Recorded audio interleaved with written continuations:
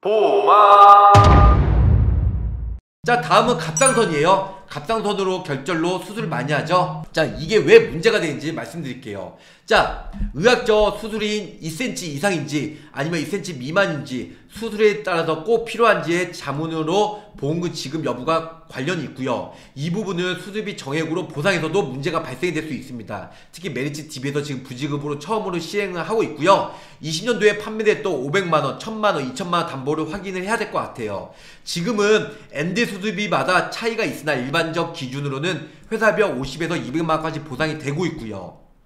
금융감독원에서는 새로 검토를 한다고 하는데 결국 부지급으로 지급이 될 것 같다는 겁니다. 결론적으로 이거는 뭐냐면 예전에 수술비 보험에서 갑상선 결절로 수술하면 500에서 1000만원, 2000만원까지 나온다고 수술비 보험을 많이 가입을 했어요. 그래서 막 3개, 4개 가입해서 갑상선 결절 아프지도 않는데 수술해서 여기 뭐 째가지고 뭐 주사로 하면은 뭐 5분 안에 끝난대요. 근데 그렇게 하면은 거의 뭐 병원비가 많이는 안 되지만 그런데 중요한 건 실손에서도 병원비가 보장이 되고 그 수술비 보험 뭐 2천만 원씩 되니까 세 군데 가입해서 3천만 원에서 5천만 원 1억까지 보험금 받은 사람들이 많아요. 근데 가장 중요한 건 설계사가 문제죠. 설계사가 본인도 하지만 이거 선동을 해요. 고객님 갑상선 결절 돈 버시겠어요? 수술비 보험 세네개 가입하고요. 그리고 일단은 수술하면은 거의 5천에서 1억 정도 나온대요. 그런데 정작 그 설계사 수술비 보험은 그 설계사 코드로 가입을 안 시켜. 왜냐? 수술비가 막힐 수도 있고 나중에 조사가 나오면 걸릴 수도 있으니까. 그렇기 때문에 다른 설계사한테 가입을 하시고 제가 노하우 알려드릴게요. 그러면서 또 커미션 받고 또 브로커처럼